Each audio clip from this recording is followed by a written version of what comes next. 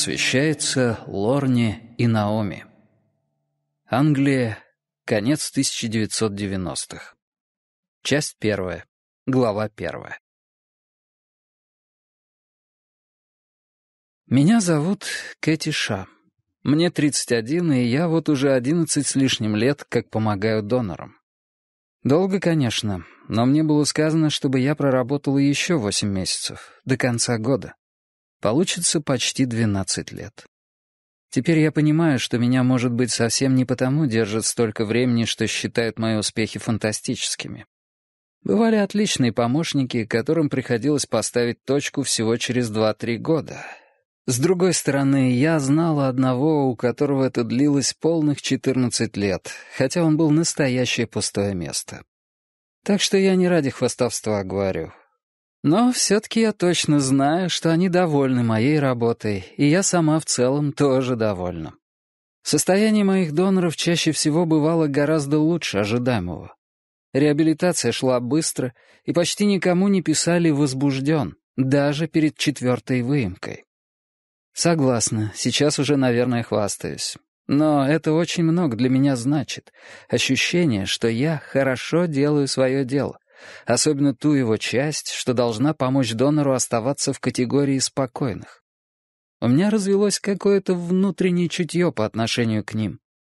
Я знаю, когда надо подбодрить, побыть рядом, когда лучше оставить одного, когда терпеливо выслушать, что он говорит, когда просто отмахнуться и сказать, чтобы переменил пластинку. Так или иначе, я не считаю себя чем-то особенным. Я знаю помощников, они и сейчас работают, которые выполняют свои обязанности не хуже меня, но далеко не так ценятся. Можно понять, если кто-нибудь из них и завидует. Моей однокомнатной квартире, моей машине, но в первую очередь тому, что мне позволяют самой решать, о ком я буду заботиться. Ко всему, я еще и воспитанница Хейлшема. Одного этого иногда хватает, чтобы на меня смотрели косо. «Это Кэти Ша», — говорят они.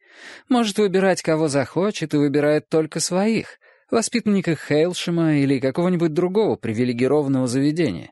Само собой, она на хорошем счету». Я наслушалась такого достаточно, а вы наверняка еще куда больше. И, может быть, своя правда тут имеется. С другой стороны, я не первая, у кого есть право выбора, и, думаю, не последняя. Как бы то ни было, — Разве я не отработала свое с донорами из всевозможных других мест? Не забывайте, что к тому времени, как я кончу, за плечами у меня будет 12 лет, и только последние шесть из них мне разрешают помогать, кому сама захочу. И правильно делают, по-моему. Помощники ведь не автоматы. С каждым донором стараешься изо всех сил, и под конец это может вымотать. Запас терпения и энергии истощается.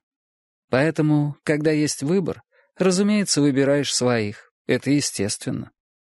Разве я продержалась бы так долго без общности с донорами, без сочувствия к ним от начала до конца?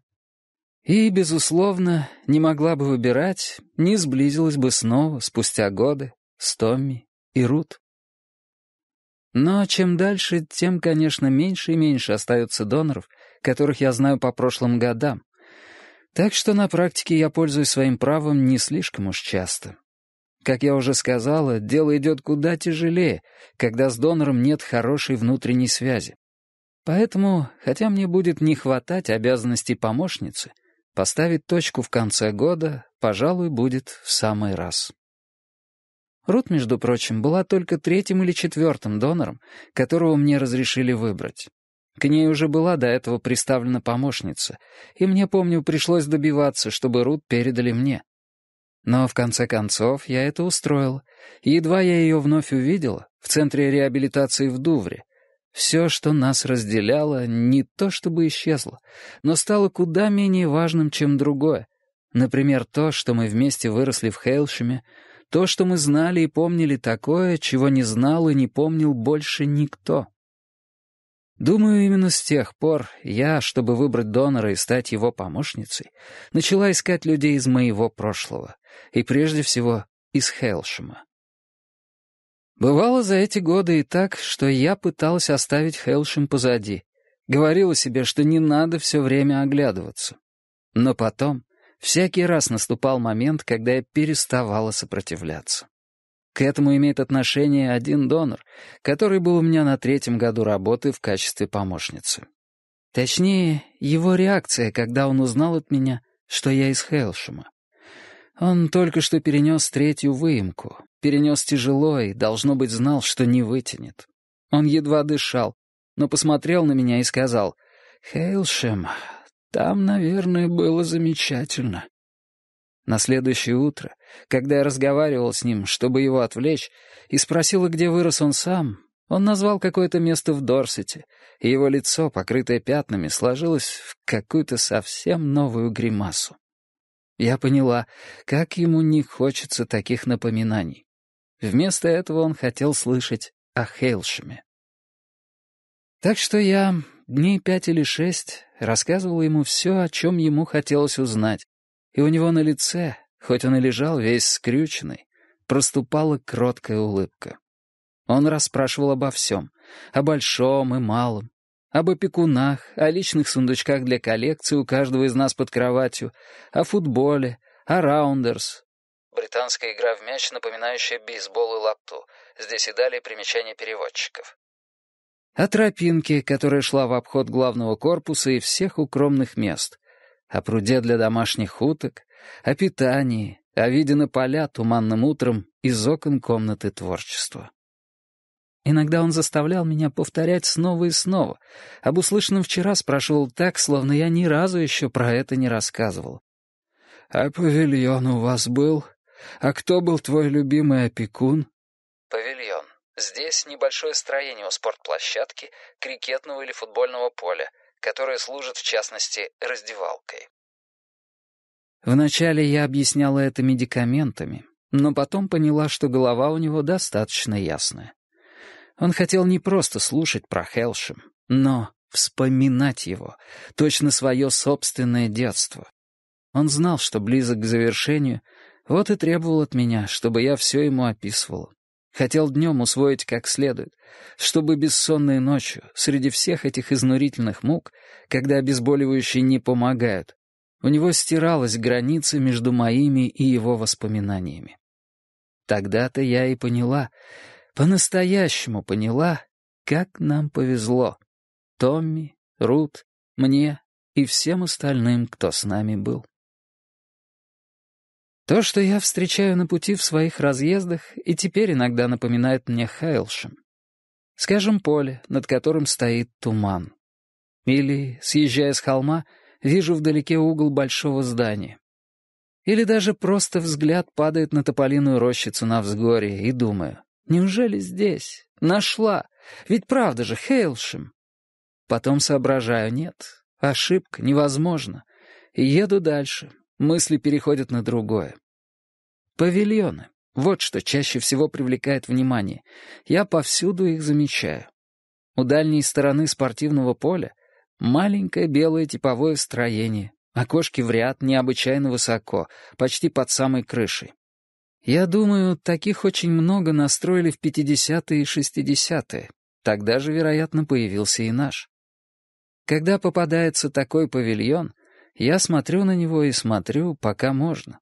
И однажды, наверное, дело кончится автокатастрофой. Но все равно смотрю. Недавно дорога шла по пустой местности в Устершире, и у крикетного поля стоял павильон, который был так похож на наш, что я развернулась и проехала немного назад, чтобы посмотреть еще раз. Мы любили наш павильон. Может быть, потому что он напоминал нам милые маленькие семейные коттеджи на картинках в детских книжках. Помню, в младших классах мы упрашивали опекунов провести очередной урок не там, где обычно, а в павильоне. А ко второму старшему, нам тогда было двенадцать, шел тринадцатый, павильон стал местом, где можно было уединиться с лучшими друзьями, когда хотелось побыть подальше от остальных. В павильоне спокойно помещались две компании и не мешали друг другу, а летом на веранде могла расположиться и третья. Но в идеале тебе с друзьями или подружками хотелось занять весь павильон, и часто из-за этого начинались разные маневры и споры. Опекуны то и дело напоминали нам, что решать эти вопросы надо цивилизованно. Но на практике, чтобы твоя компания получила павильон на перемену или на свободное время, в ее составе должны были быть сильные личности. Я сама была не робкого десятка, но думаю, что мы так часто занимали павильон благодаря Рут. Обычно мы рассаживались на стульях и скамейках, нас было пятеро, а если подключалась Дженни Б., то шестеро. И давали волю языкам. Такие разговоры только там, в уединении, и могли происходить. Мы делились всякими волнениями и заботами. Задушевная беседа вполне могла кончиться взрывом хохота или яростной перепалкой. Прежде всего, это был способ немного расслабиться, выпустить пар в дружеском обществе. В тот день, который я сейчас вспоминаю, мы стояли на табуретках и скамейках и глядели в окошки под потолком. Оттуда хорошо было видно северное игровое поле, где собралось для игры в футбол 10-12 мальчишек из второго старшего, как мы, и из третьего. Светило яркое солнце, но утром, наверное, прошел дождь. Я помню, как на траве блестела грязь. Кто-то из нас заметил, что не стоило бы таращиться так явно но ни одна голова от окон не отодвинулась. Потом Рут сказала, «Он ничего не подозревает. Надо же, совсем ничего». Услышав это, я бросил на нее взгляд, хотела увидеть, нет ли на ее лице следа неодобрения по поводу того, как ребята собираются поступить с Томми. Но секунду спустя Рут усмехнулась и сказала «Идиот». Я поняла, что в глазах Рут и всей нашей компании Замыслы мальчиков были чем-то довольно далеким от нас. Одобрять или нет, такого вопроса не возникало. Мы не потому собрались у окон, что хотели порадоваться новому унижению Томми, а просто потому, что слыхали про сегодняшнюю затею, и нам было немного любопытно, что из всего этого выйдет. Не думаю, что в то время мальчишеские дела занимали нас сильнее. Для Рут и девочек это были вещи, в общем, чужие — и для меня, скорее всего, тоже. Или, может быть, я ошибаюсь. Может быть, уже тогда, при виде Томми, который носился по полю, давая волю радости из-за того, что его опять берут в игру, что он опять покажет свой высокий класс, я почувствовала легкий укол боли. Точно помню, я заметила, что на Томми голубая тенниска, которую он приобрел в прошлом месяце на распродаже, и которой очень гордился. Помню, подумала — он и правда дурак, что пошел в ней играть. Бедная тенниска. И каково ему потом будет? Вслух я сказала, не обращаясь ни к кому конкретно. На Томми та самая тенниска, его любимая. Никто меня, похоже, не услышал. Все смеялись, глядя на Лору, главную нашу клоунессу, которая, знай себе, изображала, как меняется лицо Томми, когда он бежит, машет, кричит, ведет мяч. Другие ребята кружили по полю в разминочном темпе, все их движения были нарочито расслабленными. А вот Томми взыграл не на шутку и носился во весь дух. Я сказала, теперь погромче. Горе у него будет, если тенниска придет в негодность. На этот раз Рут услышала, но, кажется, решила, что и мне захотелось над ним поиздеваться. Она вяло усмехнулась и произнесла на его счет что-то свое, ядовитое. Потом мальчики перестали катать друг другу мяч и спокойно, мерно дыша, встали кучкой на грязной траве, ждали разбора игроков по командам. Капитаны вышли вперед, оба из третьего старшего, хотя всем было известно, что Томми играет лучше любого из них. Кинули монетку, кто будет выбирать первым, и капитан, которому повезло, поднял глаза на ребят. «Гляньте-ка на него», — сказала одна из девчонок у меня за спиной. Он совершенно уверен, что его возьмут в первую очередь. Только поглядите». Что-то смешное в нем в тот момент действительно было. И думалось, да, если он и правда такой идиот, он заслужил то, что сейчас произойдет. Другие ребята делали вид, что им плевать на капитанский выбор, что им все равно, какими по счету они окажутся. Одни тихо переговаривались, другие перевязывали шнурки, третьи просто разглядывали свои бутсы, вязнущие в грязи. Но Томми смотрел на старшего мальчика с таким энтузиазмом, словно его уже выкликнули. Лора, пока шло распределение игроков, все время гримасничала, повторяла сменяющие друг друга выражения лица Томми. Вначале радостный пыл, потом, когда выбрали четверых, а его еще нет, тревога и озадаченность. И, наконец, когда он начал понимать, к чему идет дело, боль и отчаяние. Я, впрочем, смотрела на Томми, и на Лору не оборачивалась. О том, чем она занята, я догадывалась по общему смеху и подзадоривающим репликам девочек. Потом, когда Томми остался один, и мальчишки начали ухмыляться, я услышала голос Рут. «Начинается. Внимание! Семь секунд, шесть, пять...» Она не досчитала. Томми громко завопил, а игроки, теперь уже смеявшиеся открыто, побежали к южному игровому полю. Томми сделал несколько шагов за ними, не знаю почему. То ли инстинкт подстрекал его погнаться и поквитаться, то ли он впал в панику из-за того, что его бросили одного. Так или иначе, он сразу остановился. Стоит, лицо багровое, смотрит им вслед. Потом раздались его вопли, бессмысленная смесь похабной ругани и угроз. Припадков Томми мы к тому времени уже повидали много, так что мы спустились на пол и разошлись по павильону. Начали было разговаривать о чем-то еще, но Томми все время было слышно. И хотя поначалу мы только пожимали плечами и старались не обращать на выкрики внимания, в конце концов, может быть, через целых десять минут после того, как мы в первый раз отошли от окон, мы опять встали на табуретки. Другие ребята уже совсем скрылись из виду, и вопли Томми теперь летели в разные стороны а не в одну. Он бушевал, потрясал кулаками, посылал проклятие небу, ветру, ближайшему столбу забора. Лора сказала, что он, наверное, репетирует Шекспира. Какая-то другая девочка заметила, что при каждом выкрике он поднимает и отводит ногу, как кобель, который делает по-маленькому. Я и сама обратила внимание на это движение ногой, но прежде всего мне бросилось в глаза то, что всякий раз, когда он силой ставит ногу обратно, вокруг брызгами разлетается грязь.